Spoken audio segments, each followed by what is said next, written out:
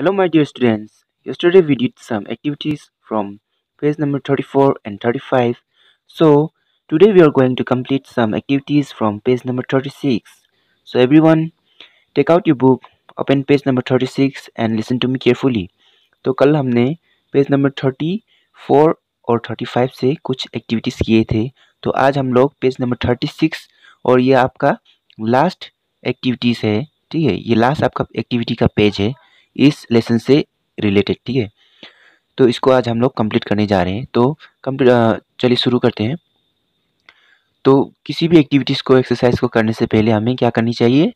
हमें उस पर क्या करना है? क्वेश्चन को पहले ध्यान से पढ़नी चाहिए। चलिए पढ़ें।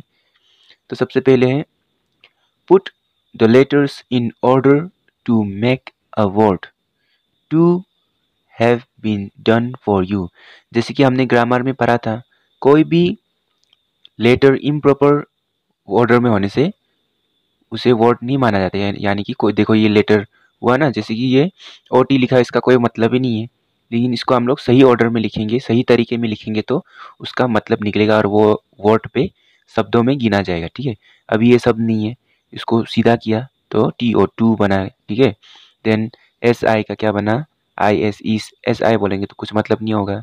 एस आई बोलेंगे एस आई बोलेंगे तो आई एस आई बोलेंगे तो कुछ मतलब नहीं होगा। आई एस बोलेंगे तो उसका ये एक वर्ड निकल के आता है, इसका मतलब निकल के आता है, ठीक है?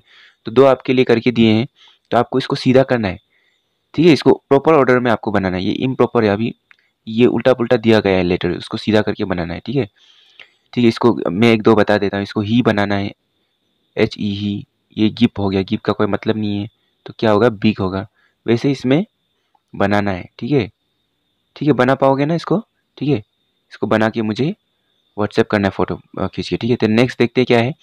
Look at the pictures count and write तो पिक्चर्स को देखें, उसे गिने, गिनती करें काउंट करें, गिनती करें और लिखें ठीक है? देखिए यहाँ पे काउंट एंड राइट है यहाँ पे। यहाँ पे दिया गया है one giraffe okay one giraffe तो यहाँ पे दो है, ठीक है? तो फिर इस पर क्या करना है आपको? इसको काउंट एंड राइट करना है। गिनना है, इसके बाद लिखना है। इसमें कितने जीराफ है? वन जिराफ है तो वन जिराफ ठीक है? इसमें कितने एलिफेंट है? इस पर इस पर वन एलिफेंट इसमें कितने जेबरा है? इसमें वन जेबरा ऐसा one zebra one elephant one zebra one frog लिखना है, ठीक है?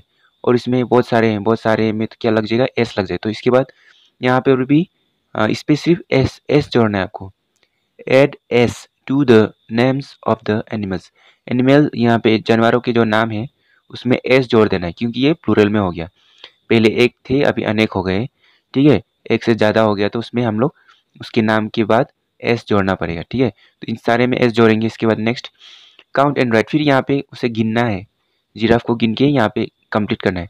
तो जिराफ कितने हुए? दो। तो टू जिराफ्स यहाँ पे वन जिराफ थे ना? यहाँ पे टू जिराफ्स एस लग गया, ठीक है?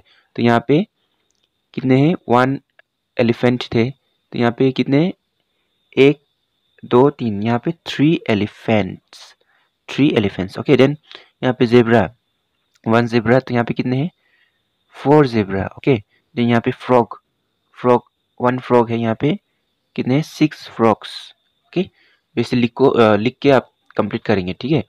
तो आज के लिए इतना ही, आज का ये आपका लास्ट एक्टिविटी है, इसको अच्छे से करके मुझे व्हाट्सएप करें, ठीक है? इसके बाद कल हम लोग क्वेश्चन आंसर पढ़ेंगे okay So thank you all to complete these last activities and take care.